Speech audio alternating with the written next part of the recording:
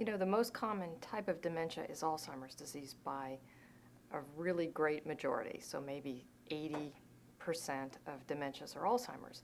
The second most common type, in my view, is Alzheimer's mixed with something else.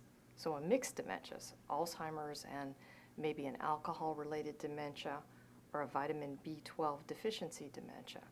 And then all of the other forms of dementia, including dementia due to strokes, are much less common.